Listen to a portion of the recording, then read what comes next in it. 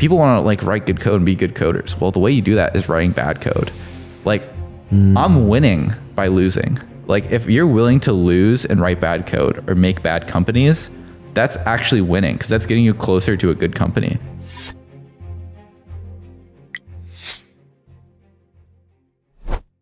Do you have any tips and tricks when you're ready to start making content? How you shift yourself? Oh my God, I forgot these little. Here, you wanna you wanna pry, pry these open with Yeah, your? Friday is open. I actually, it depends on the type of content I'm doing, I guess. I get most nervous, I'd say, if I'm doing a like speaking on stage sort of thing. Huh? But now, if I'm making most content and it's recorded on YouTube, I don't get too nervous um, because it's like, worst case, I mess up and do it again.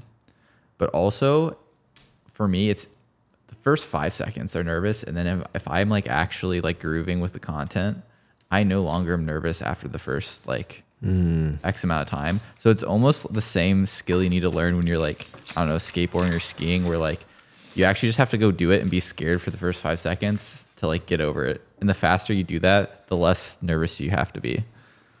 I remember you actually made hours and hours of videos without your face on before you started to do with Yes. adding it back. So I think a big part is to your point on practice, yeah. Yeah. Funny, I think I actually just didn't own a camera too. Part of it was like, I don't even think it was like a purpose. Let's not show my face on camera either at first. It was, Yeah. I didn't own a camera and I was like, other coding tutorials don't have their face either. So like, it's Why like show fine. mine? All right. Yeah. Like, why show mine? I'll just like do it like that. And I didn't want to like get all the camera equipment first before I even knew what I was doing. So. So what prompted that first decision to let the world see who Ben Awad was? Well, I'll tell you the full story of like why I got started on YouTube. Part of the part of what like triggered it, I don't know why, but I was 16 when I did my first Java course. Uh, it was a programming class, Wow. and after that, I started making Android apps because Android is like they use Java to build the apps, and I had an Android phone. I was like, I want to actually start building stuff with the like programming language that I learned, not just Yeah. like do like silly examples, which is what you do in your classes. So I started building stuff. Maybe I think I was like 17 before like I actually like was doing the Android things for real. And I decided to live stream myself on Twitch doing that. I don't know why I did it. Hmm. I'm like this kid that has no idea what he's doing. I'm coding a to-do list, but I am getting errors everywhere. I'm basically just Googling for four hours. Like there's like a four hour video on YouTube right now. If you scroll down, it's like my last video or my oldest video. And it's me like making terrible content that is figuring out how to make a to-do list app. So I posted on YouTube afterward. It's just to archive it or save it, whatever. Like Twitch is like, you know, send it to YouTube. I'm like, okay, sure. Um, and I don't look at it, touch it for a year. And a year goes by and I look at my YouTube channel again. And I think I like did a couple other streams, but I didn't record those or whatever. I was, I kind of like got out of the like streaming thing with you coding. tried it. I One tried and it. done. And like, what was I doing? Well, funny enough, it was not one and done. I did a couple of them. Okay. Um, but then I just kind of, yeah, I didn't feel like streaming myself doing bugs with no people watching. And I don't know why I was doing it in the first place. But the YouTube channel, after a year, got 10,000 views on that video. And I was like, holy crap. Like when you're a kid and you like, you know, that's that's a ton of views basically. And I was like, man, I have made it. I got 10,000 views. Like what? And I also was thinking like, this is terrible content. Like I have posted this video. It is four hours long or two hours long. It's so long. It's me not knowing what I'm doing. I could make more of those, but better because that is awful. Like I'm not trying to make it good content. I was like, huh, what if I just try to make that better? And that was when I got like, all right, time to like try making more YouTube videos. And I just started doing what I like doing, which was coding. Yeah. Um, and I just was already doing it on the side. And I just continued like that process while also recording while I did it. And I was just, and oh, funny enough, my Yeah. face was in those videos too. So like that was my first video on YouTube. It like literally has me in the little corner because like streaming, it's normal. Like normally you just put your like little face in the corner, but like on YouTube videos, like for coding tutorials, most people don't. Some people do. So it was just one of those things. Where it's like, yeah, I'm just not gonna stick it there. Um, and it wasn't. That one actually wasn't uh, me being nervous about like showing my face on camera thing. Yeah. I was self conscious of my videos at first, so I didn't tell anyone that I was doing videos. Like no one knew I was doing it until like maybe I don't know, like 50 videos in. So I made like a ton of videos, and then maybe that's the first time I like told my parents or something. I was like, yeah, so like This is a thing. I'm like posting videos now. FYI. How do they react?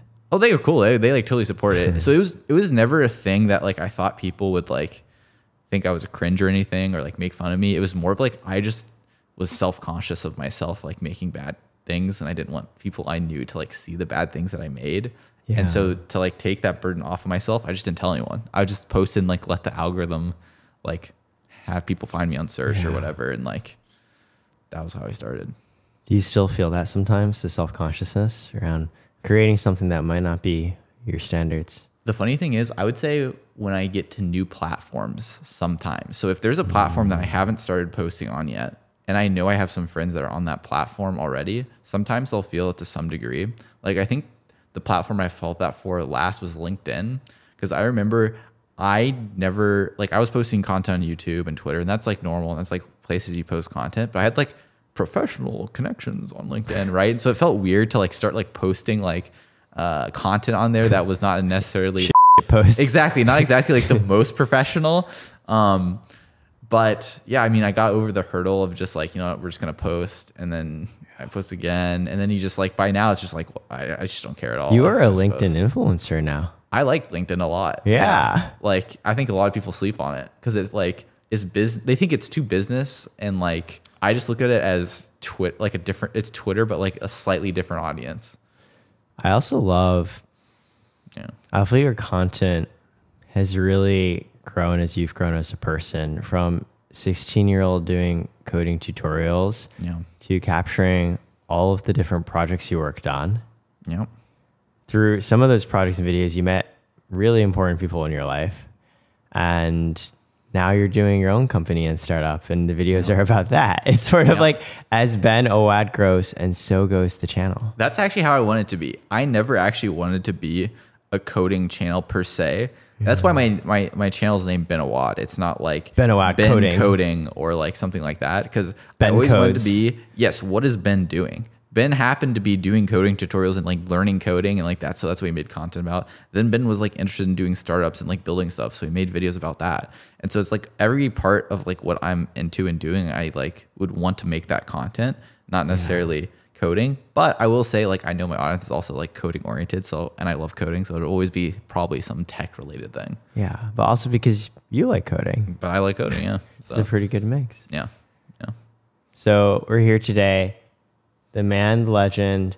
You might have heard him introduce himself as Ben Awad, but sometimes he introduces himself as Ben Awad. Awad.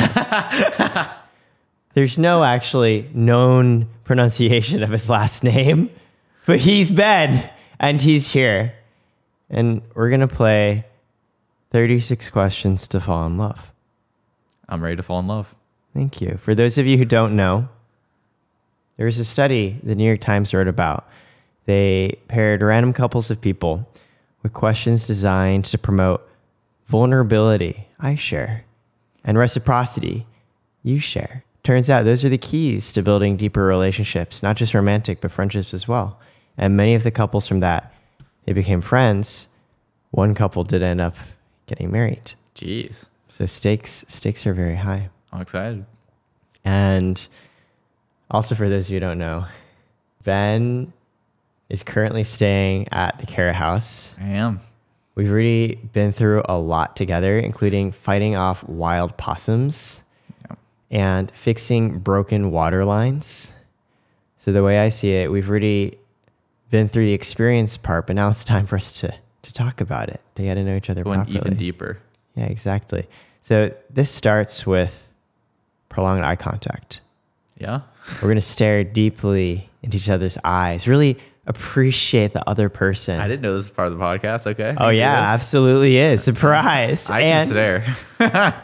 then the first person to look away, Uh huh. to break eye contact, or alternatively, You blink. just broke. Hey, hey, we haven't started. Whoa, whoa, all right. Okay, I got you're my getting. first win in the books. You're like, Phew. or if your eyes get too dry and you blink, you also lose. Oh, first I'm gonna person- insta lose then. I blink all the time. Oh, my eyes are also pretty terrible. So the, the first person, they're gonna end up drawing the card. Yeah. Okay. So all right, three, two, one. Intimacy. I already want to lose. That was way too soon. Wait, we're gonna do that again. We're gonna do that again. Oh god, my eyes. Two Okay. wins. Let's go. I think both of us have really watery eyes. Yeah, we do. I can feel like your eyes are watering, and, and like mine are too. this is where all the sleep deprivation goes. Yeah, how much did you even sleep last night, Like six, seven hours. Yeah. dude? I went to bed at like five. All right. So I'm doing. I'm doing quite a bit better than I have a little bit of an unfair advantage. okay, three, two, one.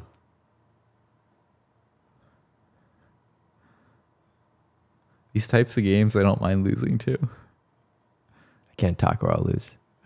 You just talked. I don't want to do it anymore. Okay, okay, okay. All right, all right. That was vegan. We lasted longer. We lasted longer. yeah, I always will complain whenever I do games like that. I've actually never heard you complain about literally anything in our entire friendship together except for this moment right now. I whenever I'm under like like activities that are like that, I will always complain. I'm a I'm a big complainer until I'm not. so what? Physiological stress? Yeah, yeah, yeah. Like oh, but, like when I'm like putting myself under like I guess physical pressure. I don't know if you consider that physical, but I'll I'll like how I cope through like staying through it longer is by just like squirming. Smart. Yeah. You know, studies have shown that when you're when you're in pain Yeah. and you curse, you shout an Oh, I saw that. Yeah. like ah, f-, Yeah. actually lessens the pain. Yeah. Caveat: It doesn't work if you curse all the time. so There's clearly something around breaking the taboo, doing something you don't normally do that helps relieve a little bit of pressure. Yeah. So I wonder if complaining Is that for is me? that for you? It might be, but also I actually think I probably complain, at least in my head. So it is at least happening if I'm not saying it. Do you have like a strong internal voice, like a monologue going on? Like I am Ben, I would probably say the answer is yes to that question. I think the answer is yes. as your inner Ben yells, "Yes, yes." Yeah, I think I think I'm somebody who thinks a lot in my own head. Yeah, Me too. yeah. So you know, some people out there they don't have an inner monologue. I've heard people say that they just like are not like Kind of terrifying. it is. Yeah. But then, so two thoughts. The first thought is there's literally an entire religion you can look up mm-hmm. where somebody thought that the voices inside your heads come from God. Hmm. And that's actually deities speaking to us on what to do. Hmm. You know, for whatever reasons, that hasn't really taken off. But this is like a actual like Greek philosophy or religion. Oh wow. Kind of wild. that. Yeah. The second is, you know, on the one hand, I'm like people who don't have voices in their heads are like freaks of nature. On the other, I'm like, They might have it easier. exactly. like one might argue that the connection between our unconscious and what we do, mm-hmm. the shorter you can make that, the better. Because your unconscious Ben is still Ben. It's still he's still doing what he wants to do. It's just without going through all of. No overthinking. Do you feel there are moments where you've overthought things? Hundred percent. What do you feel like you overthink the most around? Mm, that's a good question. I would say in general, I like can catch myself overthinking and I will stop, but it can be from anything. I will even like play conversations in my head before I have them with people of like how I think the conversation might go. And so that's like just like uh I'd say the most common example of like, hmm, I wonder like how that's gonna go. I, I, respond like this and then I'll respond like that. I love it. It's kind of like shadow boxing, Yes. but with conversational wit.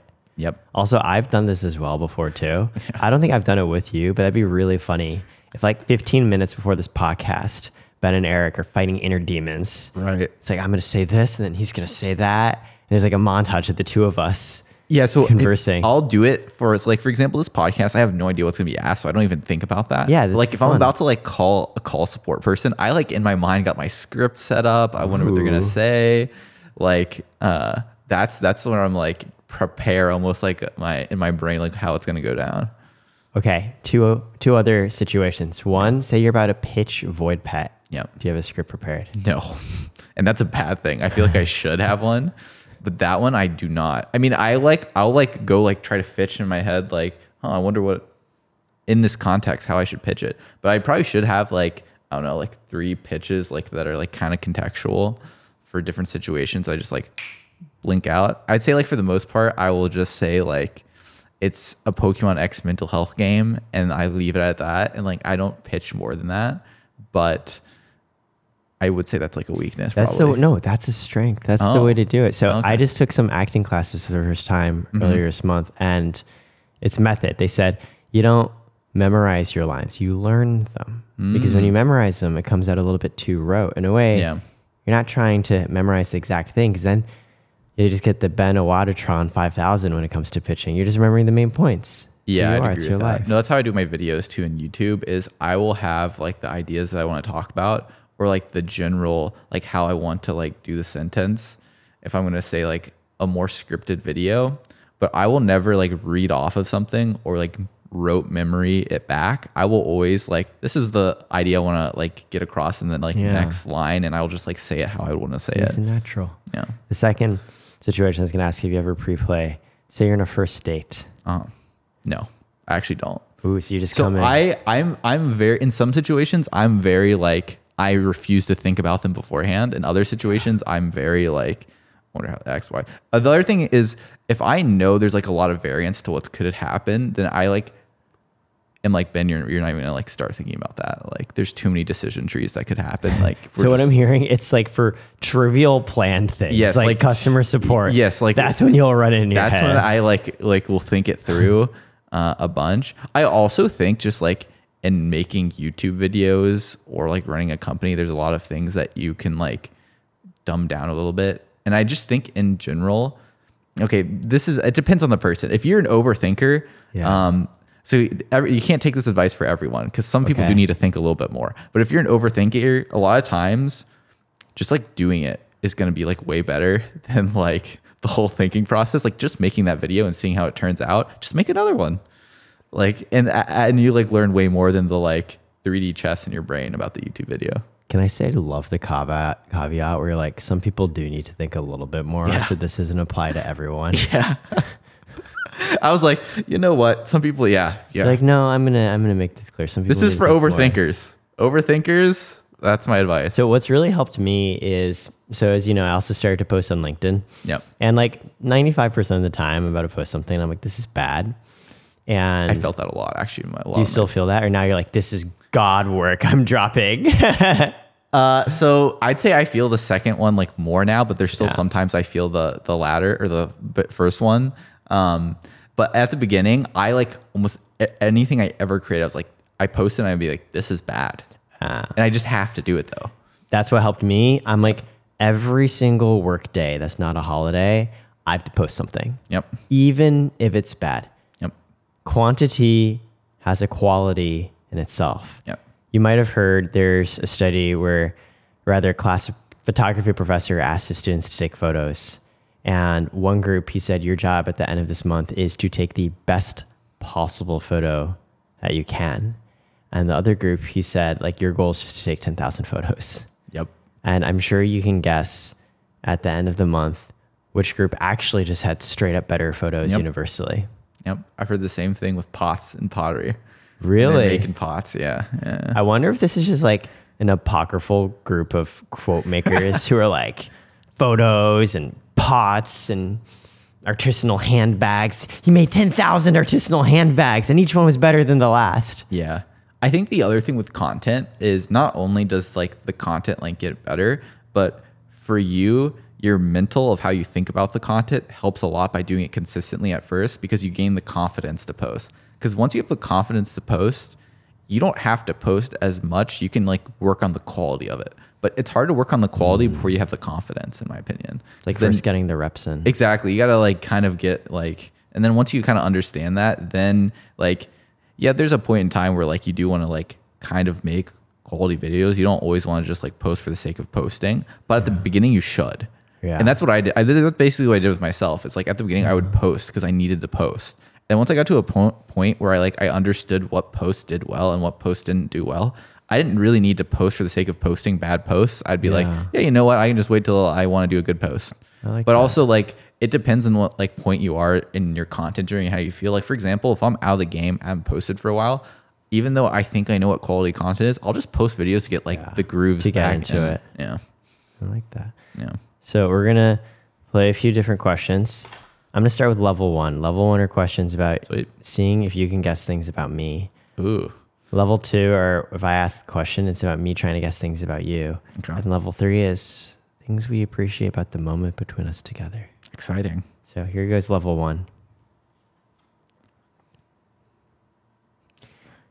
Do I seem like someone who would get a name tattooed on myself? No. Why? Are, I didn't even finish the question. why or why not? Well, one, I don't think you have any tattoos right now. That's how. You, that's as far as you know. No. Well, you at least you don't have any obvious tattoos, and I feel like name tattoos are ones you put in obvious places. Uh, I mean, occasionally I think you maybe you don't, but I think based on there's no obvious tattoos on you, I don't think you're doing that. Would you ever get a tattoo? I could possibly see you with a tattoo, but I don't think so. And then I double don't think it's going to be a name tattoo because I feel like you'd do a symbol or something if you're going to get a tattoo, not a name. So yeah, that's my rationale. this is where I take off my shirt and it says just Ben exposed. Awad tattooed across my chest. I love you. Amazing. All your TikTok comments Fake below. news. I'm on my knees, Ben, for you. Turns out th- those were all Eric. yeah, actually, Those I are made a lot accounts. of bots, man. Thank you Took a lot much. of time. Yeah. But I did it for my you. biggest fan right here. yeah. This is like a Stephen King misery moment. Yeah. It's like, I need you to go back and make more thirsty TikToks. Please. So you are correct. Shockingly, I don't have a name tattooed on myself currently. Also, plans? don't don't don't plan to. You know, I actually would love to get a tattoo, and I think again, it sort of goes to the nature of orthodoxy and taboo. I alluded to, and I spoke about cursing. I think I want a tattoo precisely because it's not what a standard good Asian American boy would do. Got a rebel over here. Exactly. I think ex- very appeal to it is because someone like me normally wouldn't. But the funny thing is, like living in LA, like everyone's got tattoos. Uh, yeah, I was gonna say there. It's uh, I can see it both ways. So now it's Yeah. like not even like a rebel thing. Now I'm kind of Yeah. like, well, it, it is kind of neat. It's a rebel for yourself, but not for other people that look at you. Exactly. Yeah. What about you? Have you ever thought of getting a tattoo? Slash, do you have a tattoo? I do not have a tattoo, and I mean, I've like remote, like thought about it a little bit, but honestly, I don't know what I would get. And two, I just don't think I'm that into like tattoos, and I very much don't like needles. So Oh, I don't like needles either. yeah, the whole the whole thing about getting the tattoo, plus I don't have a strong desire of like anything I want. I'm probably just not going to be. You've a literally person. described every single aspect of getting a tattoo as like a thing you don't like about it. You're like, I don't like the needles. I don't know what it would be. The concept of something on me. I don't know. But like overall, you're like, yeah, I thought about it. Well, I, you know, you had to think about it to know you didn't want it. That's good. See, this is me overthinking again. But maybe it saved you from getting a bad tattoo. That is true. Wait, so okay. If you had to get a tattoo right tomorrow, like say there's a tattoo artist just hiding in the wings right Yeah. there. This is all planned. Yep. What what would it be of? Um, so I think I would get something small, maybe on my wrist or something, and it'd be like some kind of like small symbol. I think I'd like something cool. Um, I don't think, yeah, I don't know what even the real. I definitely don't want to do a coding thing because that's too geeky. I am a uh-huh. geek, but I don't want to be the geek that has it like labeled on his body. Like I'm not trying to do like you know any formulas or like What would be like a coding tattoo? Like brackets? I brackets the word void like Ooh. yeah, Oh, that's a deep yeah. one. Void. Yeah. It's like it also reflects the inner abyss within me, but I'm also a coder. There's like so many th- like things that people have you seen programmers get void tattooed? I don't know if I have. I actually haven't seen that many. That'd be so like, bad. Programmer Static void. Exactly. Like I'm about to put my favorite function there or something. Like no, no. Uh, I could do an animal maybe. Um, I don't know what animal I would do, but What, what about a void pet? I could see doing a void pet too. I l- like that less because like I don't want to be the person that like puts their own product on their like body. Like I think that's a little cringe too. Like I, I don't know, that, but that's like just like how I feel about it. Yeah. And like, if other people want to put like their company tattooed on them, like respect. Like I think you got balls and like, Fair. but that's not what I'm trying to do on my wrist. So you're thinking an animal. Because you do an animal. What's your favorite animal? I like giraffes. Okay, random, interesting. I've literally never heard that before. Why? I like them because they're tall. They just like look cool. They're tall. They're derpy looking. Giraffes look like horses as if they were designed by committee. I know it's so cool. They're like they're so weird looking. Like what's going on there? You know when male giraffes try and fight for courtship, they will fight each other by slamming their long necks Yes. into each other. You've seen this? It's Yes. like really terrifying. yes, it's amazing. It really giraffes also fascinatingly enough were a point of contention between Darwin and Lamarck, Oh. different evolutionary theorists. I, don't know if you recall this. So no. Darwin's whole theory of evolution is hey, species have mutations. These mutations are random, right? But these randomly selected mutations, the ones that are more favorable for the environment and they're in, those are the creatures that are going to survive and propagate and spread those mutations on, right? It's like the mutation itself is random, but then some selection of them are going to carry on. So Lamarck was thinking the opposite is like, no, no, no, no. The way it works, it's not random. It's like what you're trying to do. So like giraffes evolve because there's like a horse or something. And it's like, yo, I like want to get those leaves up there. Ugh. Ugh. And like, and like each, each horse generation, like try to like stretch its neck Yeah. like a little bit more. And like, that's why they have long necks. That's amazing. And so it turns out Darwin was mostly right, but then Lamarck in a way got the last laugh. There's this Oh. whole field called epigenetics. Uh-huh. And epigenetics state that the expression of a gene, your genetic material, is something that can be affected by your environment, how you live. So Darwin's still correct in that the mutations are random and some are passed on because they help you survive better or not. I don't know what potential genetic mutations like, oh, let's make them half blind, but you know, like whatever. Clearly we're we're still alive here. Wow, I love how you knew this entire story about giraffes. Oh yeah. No, Just like I, bam. just trying. But the fascinating thing is, so epigenetics, it turns out though, Lamarck has an aspect correct where how you live your life, you know, like, uh, uh, uh, in your necks, right? It does express the genetic expression that can be passed down. And so, you know, nature versus nurture, it's not just you are your genes. There's an element where, like, no, you can alter the expression of that genetic code depending on your own lifestyle, which is kind of cool. Amazing. Their So- lifestyle of stretching their neck really paid off. Yeah. So I, I also like giraffes. There's also a really cool Pokemon called Girafarig. Uh huh. I don't know if you remember it. I've seen it. Yeah. It's like a giraffe. The front part's a giraffe. The bottom part's like an evil demon black tail creature. yep. Girafarig is also a palindrome. Oh. Oh wow. Okay. And in the newest Scarlet and Violet, they re- released its evolution called uh, Farigiraf. Oh, I haven't seen that. I need to see that. You got to check it out. It's like Okay. a giraffe Pokemon with like an armor neck, and Farigiraf is also still a palindrome, and that makes me happy. So, Oh wow, they did that on purpose. I bet They did. Yeah. so honestly, man, as we talk about it, I'm like, yeah, I, I can see you're the gonna- appeal. You see the you see the giraffe appeal now. You're on the But, same. but for you, you were kind of like tall boy, go be tall. Yeah, yeah, I, I'm not gonna get a giraffe tattoo. I know that for sure. But I like giraffes. I get like a different animal. I think. I think a giraffe tattoo would be so cool because you could have like the giraffe body and then it's just the giraffe neck all the way up to That here. so troll. I feel like you are like 50% more likely now to get a giraffe tattoo. I kind of like that. If I was gonna do a tattoo, do I do it like that? yeah, and then like you could have like, you know, those like things with like the, your thumb sticking in the sleeves and you see like the giraffe. If I'm gonna go all in, I'm gonna do it like that. Yeah, exactly. And then it's like full giraffe. full giraffe, giraffe sleeve, just the whole jungle up my arm. Do you feel any spiritual attunement and similarity with a giraffe? You know, I would not say that. I don't think I. You're like, no, in no way whatsoever. I mean, you know, I, maybe I guess I could call giraffes my spirit animal, um, but I actually don't think I'm like. I wouldn't say that would be my spirit animal. I don't think, because they're too derpy, and like, I mean, I guess we're like both like a little bit tall, so like, there's that. But like, I don't think I'm like absurdly tall like a giraffe. Like giraffes, like you know, an NBA player. Like if you're an NBA player, I could see like my spirit animal being a giraffe. yeah. I think it's more of just like I don't know. I just saw giraffes. I was like, yeah, that's like a nice animal. I want that one to be my favorite. I like and like it. no one else thinks about giraffes No. or talks about giraffes favorite. well you want me to say tiger? Like, Like I'm gonna be another. Ooh. I want to be another tiger person? Like heck no. You're a giraffe boy. I'm a giraffe boy. I think for me, if I were to get a tattoo, so one, honestly, I thought to myself, like, if we hit our next round of funding or IPO, I should get a Karat tattoo. Ah, yeah. I, I will be that cringe boy Yeah. if it helps motivate the team. I mean, if you're at IPO or huge round, I can see that it's also like uh, that makes more sense. kind of like, I don't remember from The Office, but Andy Bernard at one point to incentivize his team says he'll get a tattoo on his butt of their choice. yeah. Like similar energy. I also think it's just like a fun PR stunt. Yeah, exactly. Yeah. So I've considered it. It turns out there's a startup that does ephemeral tattoos, not like henna, like actual ink tattoos, but Oh, they disappear do after that. a year. But here's the thing, Ben, yeah. is a startup. you and I as founders both know that half of what they do is a little, little scuffed, a little off. And I'm like, these are supposed to fade after a year, man. Startup hasn't even been around for a year. How, how do I know? How do I know these are ephemeral? What if what if it's not? What if it stays? That oh, sorry. be so funny. That's a bug. Guess it doesn't fade. Free permanent tattoo. Terrifying. that would be terrifying. Yeah, I don't want that.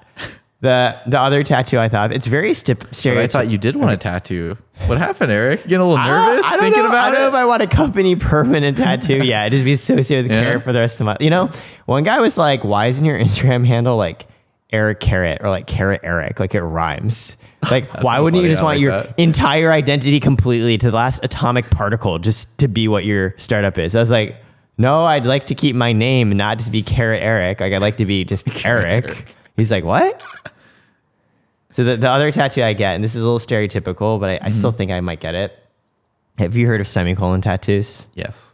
Yes. So for those of you who don't know, it's for suicide awareness, right? Because the whole thinking is when it's a period, that's a full stop. Yep. But it's when a semicolon, they keep going. Yep. And I, I, I like that, right? I've. I've been through periods where I'm like, oh, it's hard, but I'm going to get through it. But I, want to like- get it. I like simple tattoos. Yeah, I like simple tattoos. I just feel like now that everyone knows what a semicolon tattoo is, it's not. It's, It's a not little obscure. mainstream. Exactly. I want Yeah. something a little not mainstream. Yeah. I want to. I want to feel special. Yeah. I mean, you maybe could try another piece of uh, exclamation point or a question mark. Just like a wingding. yeah, just like just build your own philosophy and Yeah. background behind it. This wingding represents being resilient yeah. Then you're cool again. because wingdings could be taken as expletives. You don't type out the expletive. You just put a bunch of wingdings, hmm. and when you're resilient, you just let yourself go. Boom. You really made that work. there. Backstory. Oh, Yeah. you know it. Yeah. All right, let's do, let's do another one. Let's do a listen let's to the do another, podcast, no- out. another level one. Another level one. All right. It takes the one at the very end. Wild card. Maintain eye contact. Okay, we 30 did this one. All right, we're doing a different one. All right, here I'll pick one in the middle this time. I feel like there's a coding joke to be made here on like sorting and ordering and first in, first Zero out, last in, last yeah. out. Exactly. How many speeding tickets do you think I've gotten in my life? Okay, I feel like the answer is either like zero because you seem like an extremely responsible person, or like a f- ton because you're an actual raging psychopath. And this is just like the calm Patrick Bateman esque demeanor behind which lurks the mind of a speed demon.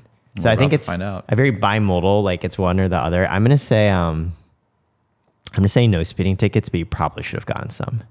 Yeah, I have a single speeding ticket. Yeah, what happened? Uh, I was going over the speed limit. Thanks, Ben. No, it was basically, uh, you know, it's the same thing everyone always does where you're just like driving long distance and you're like, yeah, I want time to go down. And like, it's a small town and, you know, the small town's trying to make money. You think no one's out at that time of night, but they are. And you just get a ticket. And then This you're is like the most like structural, analytical approach I've heard to getting a ticket. It's, like like the standard, you know, you're like I'm optimizing for reduction of time. They're optimizing for fucking me over and making money. So you know, and that's how the transaction went down. and now I have a ticket on my record. do you speed a lot, Ben? No, after that, I was traumatized.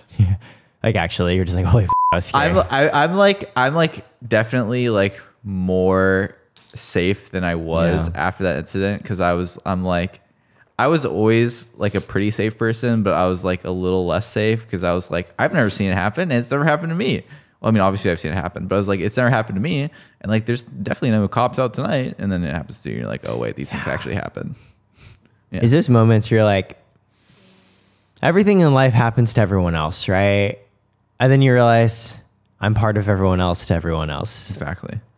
Exactly. And also, I mean, also the downside is like it's 300 bucks, like it's 200 bucks. Like Yeah. uh, that's the downside of like, I mean, honestly, like saving you, pro- it's probably saved me more than like, you know, five hours. Let's let's take this parking ticket question. I'm gonna blow it up a little bit existentially. When, when was the moment you realized you weren't invincible? That's a good question. I actually think I always knew that. Funny enough, that one I actually didn't have a problem with. You were like, I was born in pain.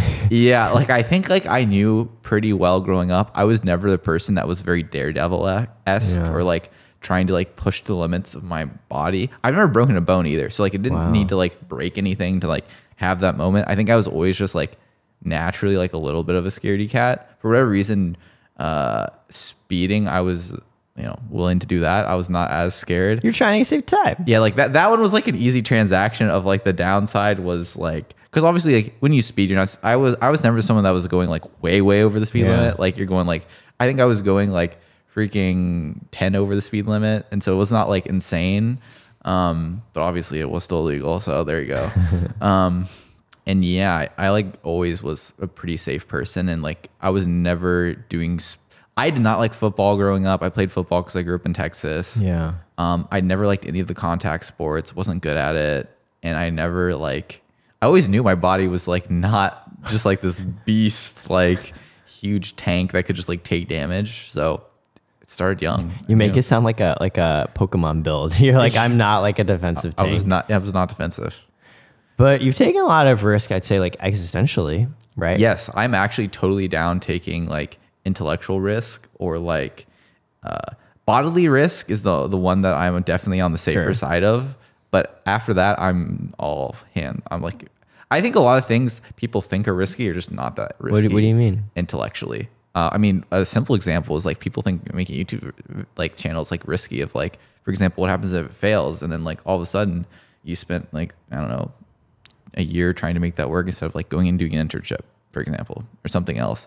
I just don't think it's as risky as uh, people think. Um, and yeah, running your own business is like kind of the same way. Even if the business fails, and this is also like how I did all my YouTube videos. Yeah. Like all of the like things that I did, I like went in knowing if it failed, it's fine because well, the funny thing is with if you're making content and like doing some kind of business at the same time, if your business is doing well, that's good content. If your business is doing bad, that's double good content if you have the balls to post it. That's the problem. Is like no one wants to talk about them quitting their project or like the project like falling out or like things happening that are like nasty, um, that just like the guts of the thing. So if you're willing to do that, then all of a sudden like it's a win-win what happens with Yeah. the business because it's like entertainment on YouTube either way. Um, so that's how I thought about it, and that also like allows you to like make better decisions for the company anyway.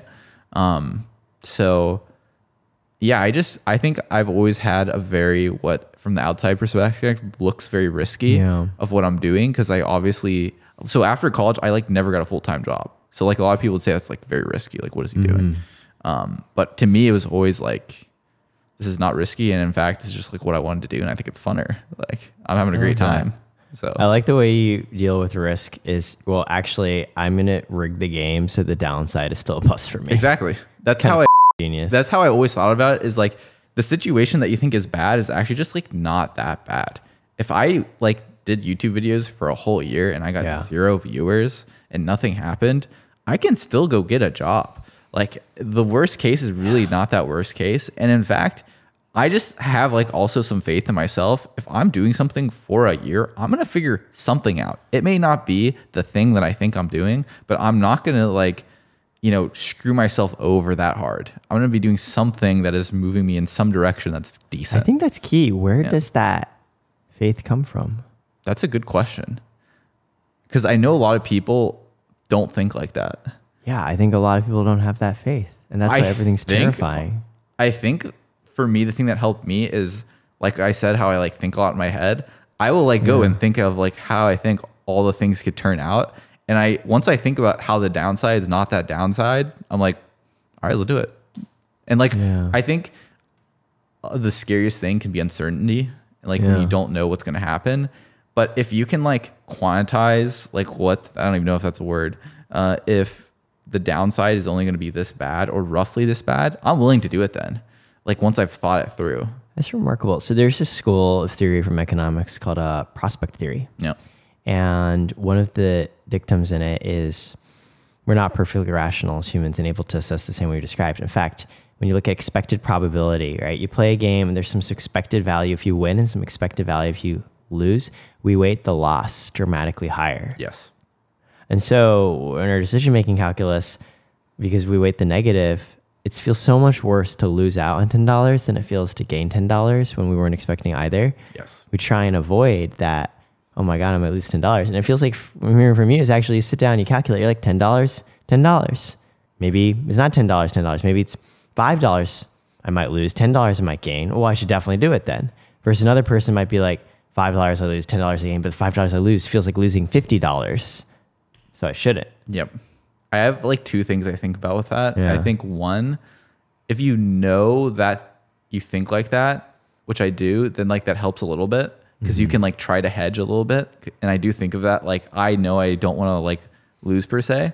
But then the second one is I think you change what it means to lose. And then mm-hmm. that helps. Like yes, if if you think of it as losing ten dollars, then that's gonna hurt. But if I think spending money is gonna like get me to a place where like I want or like the transaction and it doesn't work out, like that's sad, but that's that's I did I would rather shoot the shot of that happening and like the probability of it like coming a certain way of positive. And it's like asymmetric risk. Like are the things that I always think about is yes, I could fail at this thing and it could not work out, but there was a higher likelihood of it working out. And if it worked out, it worked out a lot better than like the risk that was associated.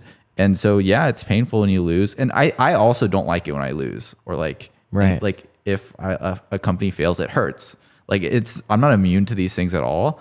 I think I just change what it means to like win and lose and that I think of it in like a longer picture of like, I plan on doing these things for like the next 30 years of my life. Like, Yeah. how am I gonna? I I said this a while ago in a tweet. Like, people want to like write good code and be good coders. Well, the way you do that is writing bad code. Like, I'm winning by losing. Like, if you're willing to lose and write bad code or make bad companies, that's actually winning because that's getting you closer to a good company.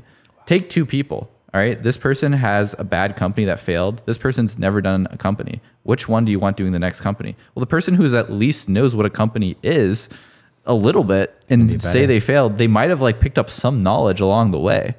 And so losing's actually winning if you can frame it that way. I kind of love it. Yeah.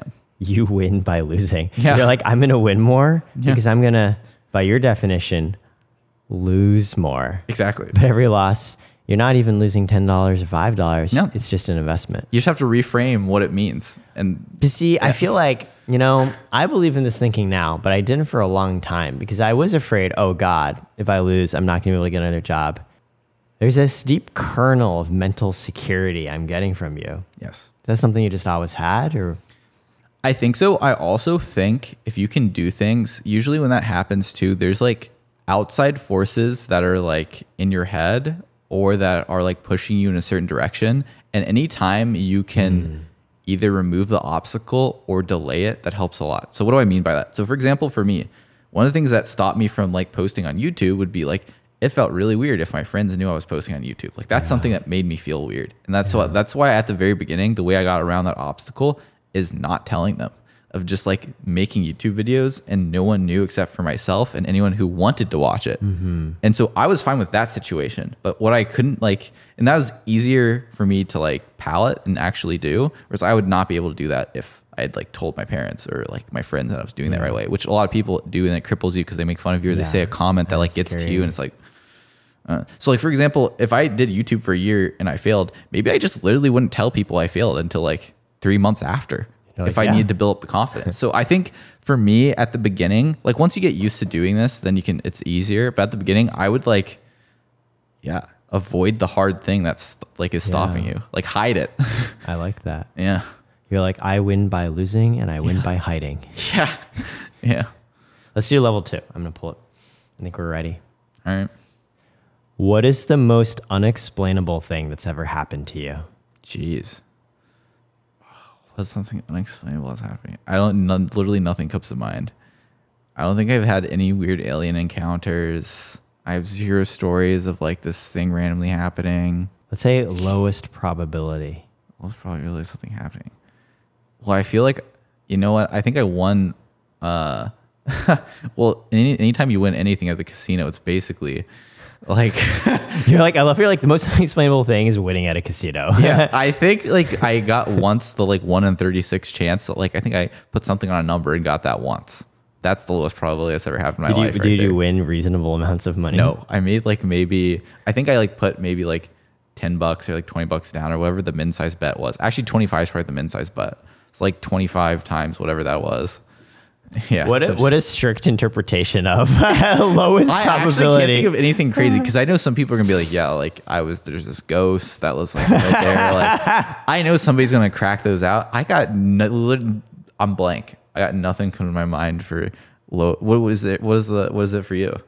So similar to yourself, no supernatural Yeah. encounters of which I'm aware. However, I think of it this way: I've had a lot of low probability chains of events. E.g., for example, Ben, how did I even meet you?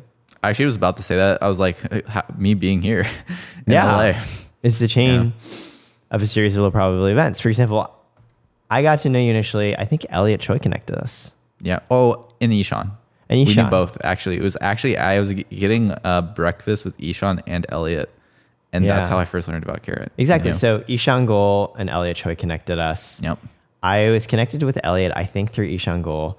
I was connected with Ishan through like the friend of a friend that I met off of a guy off of Clubhouse. This Like, goes deep. yeah. And so I sort of look at it as every chain that ends up with a successful new relationship always looks like so low probability in retrospect because it is.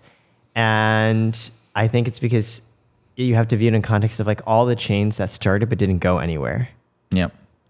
And I also believe if you have enough at bats, the low probability events are going to happen and then they don't become that low probability anymore. We gave the most boring answers to this. We're very analytical as we think about Everyone it. Like, wanted to hear a cool story, and we're just like, like unexplainable. We're like, well, from a probability perspective, hmm. yeah. It's like, well, if you know, it's hard to like flip a coin and know you're going to get heads, but if you flip a coin 10 times, the probability of not at least getting it once is actually pretty low. So, Yeah. Nerds over here. nerd. All right, level two. Oh, it's a wild card. Yeah, pick a different one. I'm gonna do wild cards. Have you ever told someone I love you but didn't mean it? If so, why? So, in a romantic context,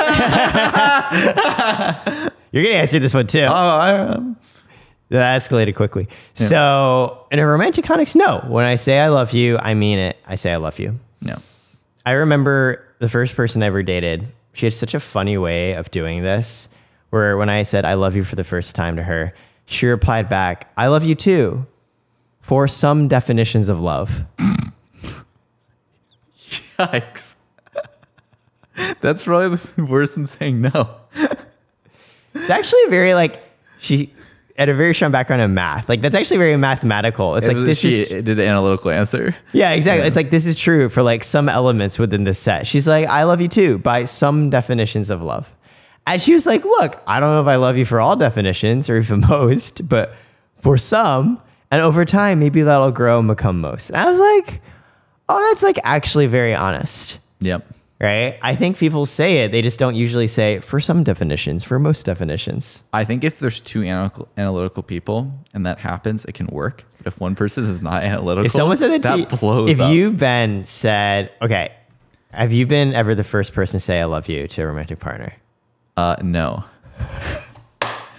God damn. Ruthless. Here's here's the other thing too. I think too. Uh, I'm in the analytical camp where if I heard that, I'd be able to like rationalize it in a way where like, okay, like we could like, you know, break this down and figure it out. I'd say in general, I'm the type of person where I will say no to a lot of things, um, and I will not do a lot of things. But if I say something like "I love you," or well, obviously not in like content. If I'm making content, it's You don't forget love, content. You don't love all your viewers. forget any any context that's content. This is not uh, Yeah. count in. Um, but outside of content, if I'm say I'm like gonna do a thing or like I like I'm gonna show up Yeah, or you like commit to it. Yeah, I commit to it. I'm like actually gonna do it, but I'm gonna say no like every other time. Like I'm a no person, but if you get me to say yes, like I will try my best to be there. Like So has anyone ever happen. said I love you, Ben? He said no. Has that ever happened? Honestly, no, because I think I like I I'm a person if I don't think it's like going a place where I want it to go, then I will cut it off very early so we don't get to the place where like they're ready to say I love you and like So you'll end it. yeah, I'll it, like it's way earlier than that that like we we both know this is not going anywhere. Like we're not trying to like get to, we're not we're not at the I love you point before things. You, you'll start the conversation. Like, how will it be? Will you be like, "Hey, look, we got we got to talk. Like, this is just." well, like uh, they've never like said I love you, and then I said no. So like we hadn't got to that point yet. It'd be it'd be just like you know I we either like I don't continue being like uh available to like see them. Or you're like, I'm just like, sorry, I'm busy. yeah, like like I uh so it's never a thing where um it gets to that point where like it, ha- that hasn't happened yet. Um So you don't have the conversation. You just gradually become more unavailable. yes. yes. Until they are also unavailable. So, Damn. yeah. All right. That is If it works. that how it works. Well, also I think uh, it's one of those things where it's not like uh, both of us think we're serious, and then I do that to the person. It's more like I'm like I assess people very quickly and maybe Yeah. almost too much, to where like it'll be like we hung out like a couple times and then like I'm done hanging out. Like it's before it even like gets like very serious. So I if I was serious with the person, I never do, would never do that. Right, because you know you're like, yeah, yeah, yeah. Like I'm not I'm not the type of person that's like yeah we've been dating for like three months and then you never hear from me again or like I'm I'm like, you can't hey, come Ben, over. like we've scheduled our wedding for like June 15th. Does that work? Ooh, you know, I've got a big video coming out that day. Yeah. like, because I feel bad when I ghost. So I'm not a person that likes to ghost. Yeah. That feels bad for me. Um, I've learned there are some circumstances where ghosting is favorable, even though it feels bad when I ever do it. Like I Yeah. will feel like a pit in my stomach when I do it. Um, so I, I'm a person that tends to like tell you up front, like yeah. how I think and like be a pretty straightforward person. So you haven't, so you haven't been the first to say I love you, yes. but people said it to you, and then when you say it back, you mean it. Have you ever said it and you don't mean it? No. Not in good. yeah, not in a romantic context. S- similarly in a romantic Yeah. context, when I've said it, I mean it. But honestly, I don't even. I'm not the type of person that even is saying it outside of like that. Like I don't think I've like even said I love you to like someone other than my mom or somebody I'm dating or like. Yeah. I don't think I'm the person that's like.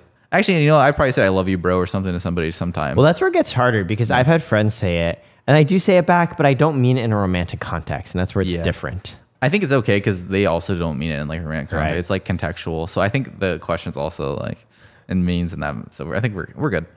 You know, we're, you're like, we're both you're a like, no. we've sufficiently We analyzed this. sufficiently. We're s- s- both a no. We're good. All right, We're not. We're not fake, or maybe we are, three. and we said Ooh, no. ooh. This is content. Level three. How how would you describe me to a stranger? I would say Eric is a very tall person. Damn, that giraffe energy. Okay. That giraffe energy. I mean, I'm energy. 5'8 on a good day, so you know, I'll take it. I would also say a very logical thinker. who's very driven and is very like good at making things happen and like following up and making sure like like things go smoothly. That's how I would first, first describe you. I describe you as someone I like spending time with. Aw. That I want to get to know better. And I'm actually really happy when you came into LA. Aw.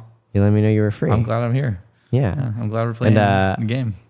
I think you're just like a just like a really good dude. I think yes, you're like obviously like very smart. Duh. I feel it's like table stakes for a friend, right? Like if they're not, you know, you know, you know. And so obviously I think you're really smart. And I also like admire many things about you, right? From like how you live your life. How you think no, I'm seriously, how you think of affiliate, the things you're doing. I think those Yeah. things are really, really cool. But more than that, like I think the easiest test is like, well, I just I just like spending time with you. Like sometimes Aw. we're not like sometimes we're not like doing like last night we're playing Mario Tennis. This Yeah. isn't like productive. like oh let's like think about what you know. Yeah, we're yeah. just like shooting the shit and like yeah. No, I like spending time with you too. Yeah, I've Yeah. gotten past the point where everything needs to be always productive. Yeah, exactly. And if anything, I think it's actually even more precious when it's not because so much of my life, at least, is spent on, oh, there's like a clear productive ends and output out of it. I used to be very much Yeah. more productive esque mindset where I would feel very guilty doing non productive things. Right. Yeah. I actually still do to a certain Yeah. degree. This is why like I don't have any holiday plans. I'm just like, oh my God, I'm gonna be doing something, I'm gonna be feeling shitty. So for me, I know if I'm just like able to be like, hey, let's just play Mario Tennis, I know you've entered my tier of people where I feel comfortable enough to just like Yeah. play Mario Tennis. That's I the Mario, Mario Tennis, tennis level. Yeah, Let's e- exactly, exactly. Yeah, that was a good one. All right, Yeah.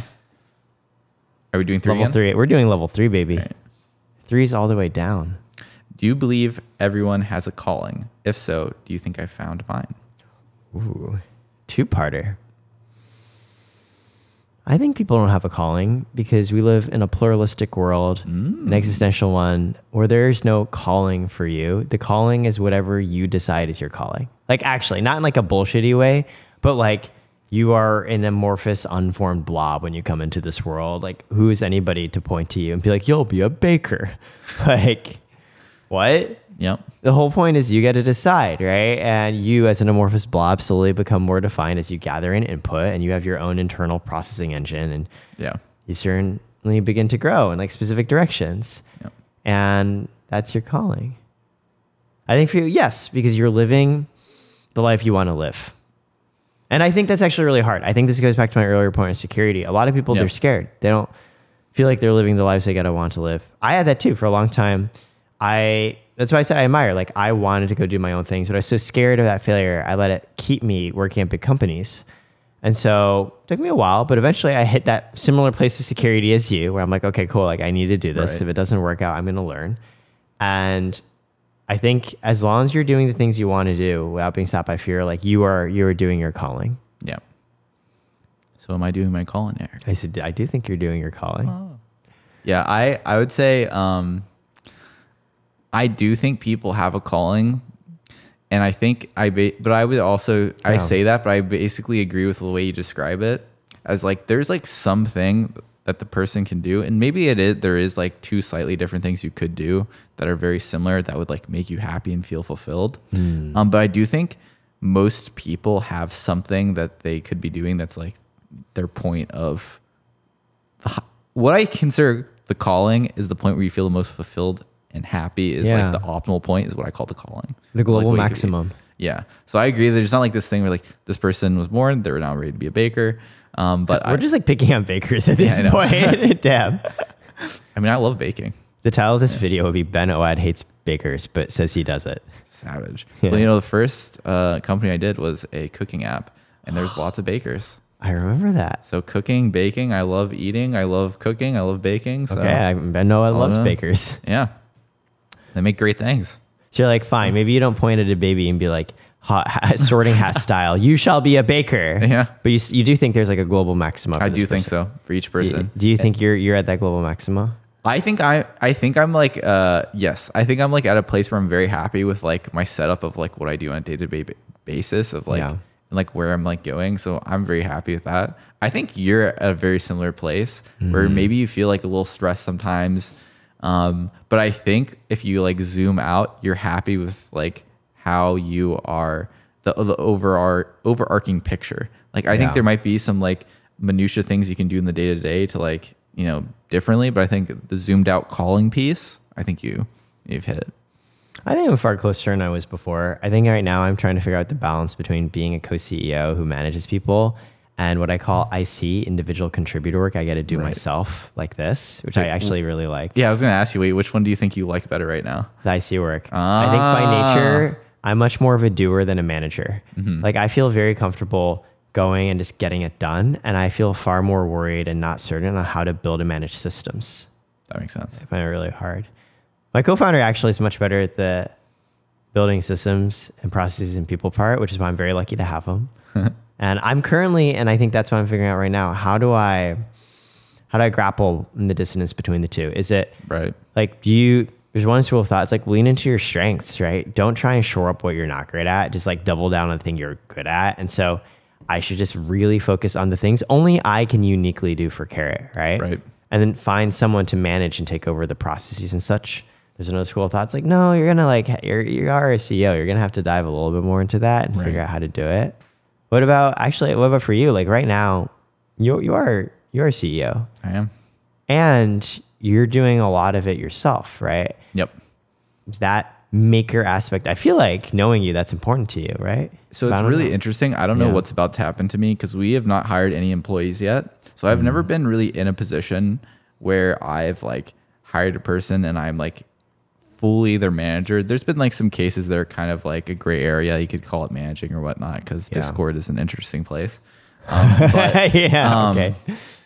I would say that like I very much like doing with so I've since I've never managed I don't know for sure but I the, mm. the thought of managing other people doesn't sound disgusting to me So Wow, strong endorsement. so it, Lovely. But like obviously I've never done it. I'm very much a person where once I do it, I'm like totally fine like not doing it and like leaving it if I'm not a fan. So that might Yeah. happen to me. We're gonna see. But my gut says I'm gonna like it because I am a person that does like like ops and like setting up systems and doing that sort of thing and like Oh. letting stuff flow as well as doing things. Like I like doing both. yeah. Um, but I and I don't know how sad I'm gonna get if I'm like just like doing less doer work, if you will. Yeah. I'm as of right now, my answer is I think I'll be okay. It's but great. Obviously, I'm doing all the doer stuff, so I feel that's Yeah, how I feel as a doer right now. But that's the only Right. thing I can guess. Yeah.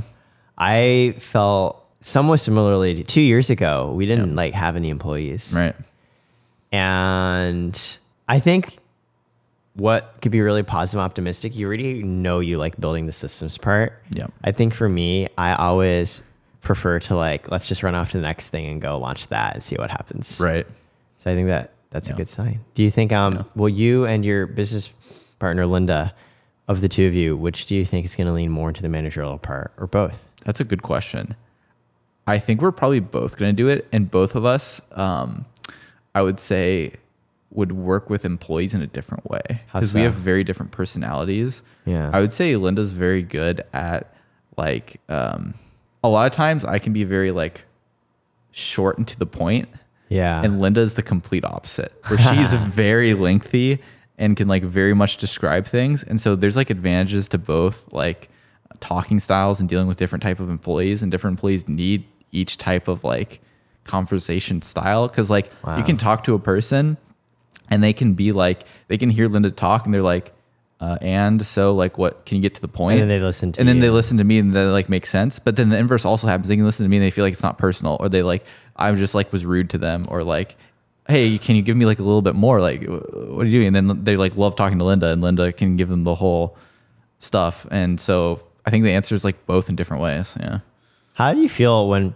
someone said that to you? Like, oh, like this is rude or short to the point. Like, does has this happened? Like, what do you feel when that occurs?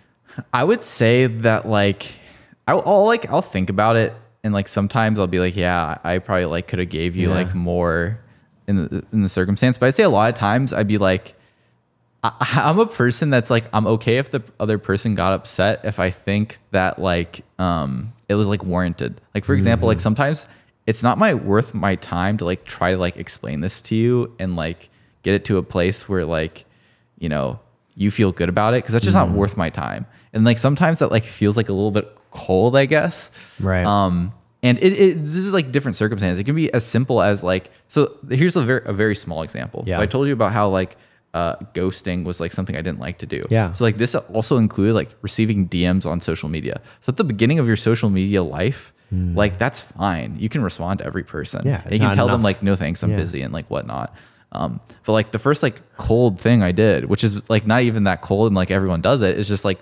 stop replying to dms i get on social media like that Well, I mean, of course, you're human. There's only so many. You get Exactly. so like a hundred thousands. so that was the first thing that it felt bad at first was like you just kind of get used to it. there's no other way to Mm, it's like, be to the point. It's like I just don't have time. you just don't have time you just can't do it and like so like i'm not even like i don't think i'm ever being like ice cold. Like that's a pretty like Yeah. example of the no one no one's gonna think i'm ice cold but like sometimes i'll feel like a little ice cold doing the thing.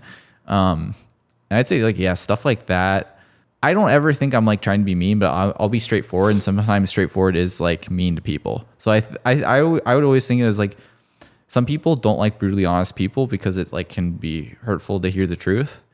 Um, but I would say I'm not so much at the end of the, the spectrum of like super brutal. I'll like I'm somewhere in between. Yeah, you're honest. Honestly, that might make you a really good manager. I think as a manager, sh- I struggle with sometimes because like, oh, I want to be liked, right? And then I'm not always delivering things as clear cut as I can. And actually, as a manager, it's just responsibility you have to the person you're supporting. Right. If you don't give them honest feedback, um, yeah, that's the thing. I'm okay not being liked. So that See that That- that is powerful right there. yeah, yeah.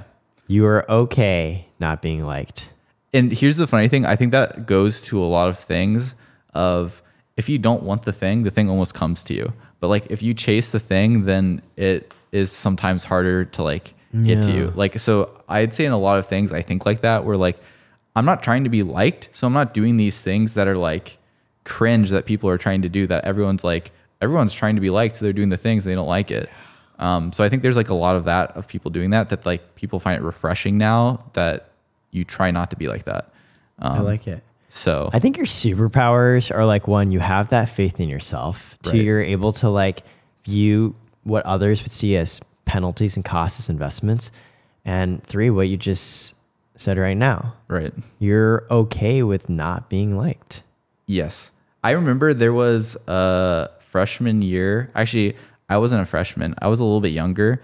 Um, so I went to community college in high school because I was homeschooled. So you can take college classes early, basically. And one of my history professors, I don't even remember his name. He was kind of like a crazy person and like went on rants and stuff. But the one thing he did say is he talked about pride. And he was like, the biggest thing that ruins all men in history is pride.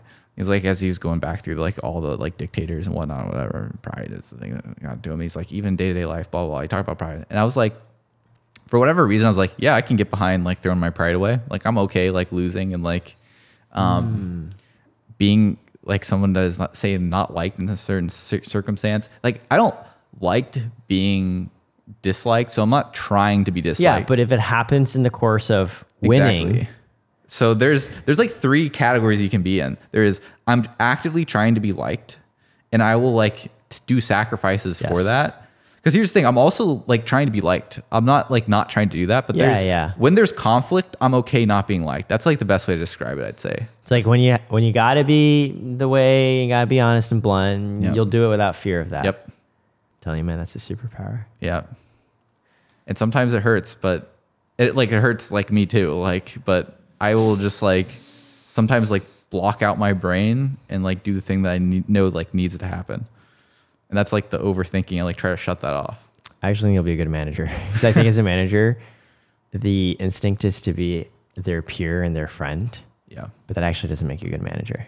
Yes. So I think the thing that also helped was making content because as soon as I like, there th- like realize my fan's not my peer, like that's like a different relationship, and you have to like just treat it differently. Yeah. Uh, yeah. Because at the beginning, I wanted to be the YouTuber that respond to every YouTube comment. Yeah, I was gonna say And, this like, clearly is really important for you because Yeah. it's like I never would have expected you to reply to every DM, but this is Yeah. this is a moment where like I can't anymore. No, there was a point in time where I would like felt bad about it, and it was like a whole thing. Because and if you've been a fan of mine for a while, you'll see the progression. Like at the very beginning, I was very active with my community. Like I am like in the weeds. I'm responding to every YouTube comment, um, and then I like just slowly like pulled back more and more and more. And other, I just got busy with other stuff too. Like I'm just like doing less YouTube and content in general right now because I'm busy with doing a startup. But like I did just like pull back, pull back, pull back because like you can't yeah, you started to distance yourself. if you want to be a big content creator, you also can't be in the weeds all the time. Yeah. It's just like the reality of the situation. So, I get that. and I didn't understand that when I was a small YouTuber because I was like, I want to be the guy that responds. Even Yeah, when he's like, like, some people don't respond. That's not me. I'm gonna be Ben response to everyone. Oh, So, yeah. I think I learned. All right, let's do a couple more. All right. Here's the one I pulled. Okay. What would make you feel closer to me? Um, if we got rid of this table right here, I like it. Practical. I'm like trying to think. Can we get rid of the table? there goes our mic arms. How about this? How about we hold hands? Oh, that's way better than I was gonna do. I was literally gonna move the table and we sit on this side. I'll do a compromise. We'll hold hands. Let me move the table back now. Oh. nice handshake. Very intimate. Yeah. All right, let's answer this last question then, holding hands. All right. All right, your turn. Oh, it's a little one. Oh, it's a wild card. We don't do wild cards. Oh, it's another wild card because I can see it from my angle. If you could prescribe me one thing to do for the rest of the month, what would it be and why? As I hold your hand. I think I do feel closer. Wow, physiologically. Yeah. This is this is not a cop out answer. I actually really admire the way you live your life. Like I'm Oh. not like I'm not trying to like. I'm like I, I like the way you, you think Oh, about you. things. I like it don't- too. I don't. Yeah. So let's let's do a different one. I don't think I Okay, would. okay. I don't think I would prescribe you to do. Oh, that's another wild. That's another. I don't think I would prescribe you to do All right. anything differently. What do you think I fear the most? I know you don't really necessarily fear not being liked. I know you don't necessarily fear failure. Well, I can fear the thing and still do it. Ooh, ooh, Yeah. true courage is having the fear and still doing it. So Exactly. ah, maybe you fear. what gets me the most scared? maybe you fear just not winning Hmm. or not being true to yourself. I, I don't know. What do you think? I would say, let me think. I would say, I don't think I actually fear not winning because I maybe I'm just like literally have too big of an ego. I actually just think it's like kind of impossible over the course of 50 To years not win. to not win. yeah, no, I get it because you're like, even if I lose this time, I'm going to win overall. Yeah, like I think of it like 50 years from now, if I, there's like just no way I don't win in some shape or form. Like it may not be in the thing I think I'm gonna win at, What confidence. but like if I if I if I'm on the right track, or at least what I think is the right track, or a track that I'm happy going down, if I'm enjoying the journey, then like that's like the important part. And so I think I don't fear winning per se, but I I definitely would say like I do fear like um actually I fear bodily harm the most. There you go. I think that's what I would say I fear the most. I think I'm just like a little bit of a scaredy cat when it comes to those But. I, I feel like that's why he didn't want really like skiing when. yeah, he went like skiing what, what like skiing was very skiing was good for me because it was like something where it's like I'm constantly overcoming my fear. Like so I watched a video of myself skiing. In the moment I was like super scared. Like I'm like like oh my gosh I'm about to die. I skiing a slip? I'm gonna like fall. I watch it back. I'm going like two miles per hour. Like I'm just going so slow. When you watch yourself back in the video, you're like, was I really that scared for that? Like, whoa, I, bro. I feel like you're basically losing your last weakness. You know, like because I feel like mentally you're really strong. I, I do think the one thing that I lucked out with was like a very strong mental. I agree with that. Like that was that was the thing. There's like things that I'm not good at, but that was the one thing that like helps in a lot of areas. Yeah, Yeah. It's powerful. All right, Now thank what- you so much, Ben. This is Yeah. it. Here, give me Thank a you. hug. How you feeling? I feel good. I feel oh, closer. Me too. That's great, man. Yeah. So, welcome back to the extended cut. Let's go. And I think the realization I have after this is just like Ben, you have tremendous mental strength. I guess I do. Which you said you feel like you learned things about yourself during this too. In No, what I did. I was like, I was saying it, and I was also like fearing because I was trying to think about the questions like, why am I this way, or like, why do I think about it that way? Um, and I was like, oh wait, that's that makes sense. Like, that is probably why I think that way. You said as a kid, you win in tennis by tiring the opponent out. So even Yes. young, you were just like, I'm just going to outlast and I know I'm going to win. Right.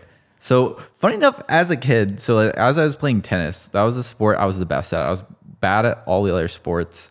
Um, and I don't know why I chose this as a strat, is how I wanted to win. But a lot of kids love like trying to hit winners or like uh, hitting it really hard and the opponent like just getting wrecked that way. But the way I wanted to play the game was I would just like return and play very defensive every shot you hit until my opponent would make a mistake. And then eventually they get frustrated because they've made like five mistakes in the last five points and they're like, ah, and they get mad.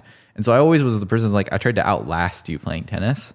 Um, I don't know why I did that, but I did. And that just like, I guess stuck with me as I've always thought of it as like an, an outlast mentality as I actually never thought of myself as a smart kid or a smart person. I always thought of myself as I'm willing to do this thing longer than the other person. And that's like how I tried to do it. So like in tennis, I was like just trying to outlast you. So where, where do you think that came from? I have no idea. it might literally just be watching Gary Vee. Like in Gary Vee is all No, about but you were not watching Gary Vee when you were like a 10 year old playing tennis. That is true. I have no idea why I was doing that in tennis, other than like, I don't know. I think a little bit is part of it is like I'm a little bit of a scaredy cat, so I would be scared of hitting the ball out. Like it, you actually can't. I like I was scared of making mistakes in tennis, and so if I was scared of doing those things, the easiest way is like hit simpler shots and like don't take as much risk when you're playing like in tennis. Like, because when you hit winners, it's a risky play. You either win the point or you lose the point. You're like, I'm quick. just going to outlast. So the funny thing there is I actually was risk averse in tennis, I'd say. Um, but like for example, in YouTube, I was just like, I'm bad at making YouTube videos, so I'm gonna go make hundred YouTube videos. And there was like a year where I made posted a YouTube video every single day of like coding tutorials. Like who's posted 365 coding tutorials? Nobody. And like I would just do some crazy thing where like, all right, guys, we are gonna like make Slack, and we're gonna post a video every day for the next three months. And at the end of three months, 90 videos in, we have a Slack clone. I feel like in your head, you've internalized things that might be risky into ways that don't seem risky. A few different ways. One Yeah. is just like, is what you said. Hey, if I'm just getting started in the algorithm and I don't know how it works, let me just hit the ground strokes. Yep. Simple, basic shots. before I started to focus on quality. Yep. Gonna hit it in, and that's low risk because these are just just hit it there, put it out there. Yep. Or set it up in ways where like the thing that might go wrong, like oh I might hit the ball out of bounds. Oh, if I tell my mom and my friends about it, they might shit on me. I just won't do that. Yeah. Is I feel like you've learned to take risky things and conceptualize them in your head where they're like actually super not risky. And the final third thing, and I think this is the most powerful mentality you have is okay, cool. Even if I lose this one time, this is just but one learning step on my path to ultimate victory that you just have supreme confidence in. Yep. You asked me where it comes from. I think I think really it's two things. I think one, I think just genetics. There are certain traits like neuroticism that to some degree are genetically determined. I know I have a high degree of neuroticism. Yep. I highly you're just like, yeah. I highly suspect that if you took it, you would have a low degree of neuroticism. Mm. And I think the second, it is your upbringing, your environment Yeah. potentially the parents, the friends you had growing up, the combination of having low neuroticism start with in a supportive environment Yeah. has brought you to a sense of confidence that's not dependent on external validation. Yep. That's like really important to like, even if you're not at the one end of the spectrum, if you're posting on social media, you kind of have to try getting closer to the not getting validation from social media. Otherwise, it's like really hard and you can spiral. Like, I don't actually think you're posting videos to try and gain clout and validation. Yeah, no. I think you're literally just posting the videos because you like posting the videos. I do. And you're like, why wouldn't I share my life? It's like a game. I think of it as a game. I like really just enjoy the game of like content of like trying to post a video that does well that I enjoy making and that like people like get some value out of. Like that's like a fun game for me. I was a gamer growing up and then I went cold turkey in college and the new game became like businesses and like startups and YouTube and all that stuff is like my new video games. I'm going to tell you, most of the creators I know, Yeah. This is, oh God, it's not doing well. Yeah. This is not, mm, no big deal. I get that too, though. Like if I Yeah. will post a video and it flops, I feel like a pit in my stomach and it feels bad. But the key thing I try to do is like stop thinking about that. Like we're, we're like done thinking about like let's do something else. Like if I post a bad video, the thing that like helps me the most is all right. We're gonna put our phone up. We're not gonna check the comments anymore today. We're gonna just go like pl- do some coding. Like coding's like a very relaxing activity for me. It like makes me feel good and I focus on the thing. Um, so I still feel these things too, but whenever they happen, I like push them f- as far away as I possibly can. It's actually a tenet. So you've probably heard of cognitive behavioral therapy. Yep. There's another school called dialectical behavioral therapy. Okay. It's very similar. It's more focused on, hey, look, you're feeling bad things. Let's just try and make sure you aren't feeling the bad things. Let's not worry as much as the cognitive mechanics. Because cognitive behavioral therapy, you're thinking through like, okay, my mind went from this event to this really bad story, prompting these negative feelings. If I change how my mind makes that mapping from event to bad outcome, then I'll reduce the feeling. Right. Dialectical behavioral therapy is more just focused on like, let's not worry about the internal workings. Like you have this feeling. Right. like what do we do around this feeling? If we make the feeling go away, we've we've done our job. Yeah. And one of the main tenets within dialectical behavioral therapy is distress tolerance. Is just in the moment when you are distressed, what is the thing you can do so you feel less distressed? And then everything else, your thoughts and such, they'll sort of just work themselves out. And Yeah. you literally just described to me a tenet of distress tolerance. You're like, I'm upset, put my phone away, don't look at the comments, go code. I got over the bad feeling in the moment, I'm good. I definitely do a mix of both of those. Yeah. And I say too, I'm also a big person who's a huge proponent of sleep. Like I just know for a fact I am less angry. My head feels better. Like I can think clearly. Things happen better. I get upset less when I sleep nine hours. Like I'm a person where sleeping nine hours is very, very important. I can go a couple days with not sleeping nine hours and I'm fine. But if I'm not doing that on a regular basis, I crumple as a person. So like I check myself and I'm like You're like like aluminum can. Exactly. Like if if that's not happening, that's the first thing I'm like, all right, we're doing everything so I can fix it that I'm sleeping nine hours. And then once I'm sleeping nine hours, check everything else like is easier from there. Like mm-hmm. life is just easier when I sleep nine hours. And life is so much harder when I don't. I love it because both of us are not operating on much sleep right now. Like I actually feel okay right now because I like when I'm doing a podcast, I have like a different brain than my day to life brain. yeah, you're a little more focused. Yeah. And so like I, I don't even feel like any kind of sleepy right now. Like I'm just chilling. That's dope. Yeah. All right. This is the first time ever I've ever done a run back. Let's go. Because I just like this stuff's so interesting. I want to share it. Yeah.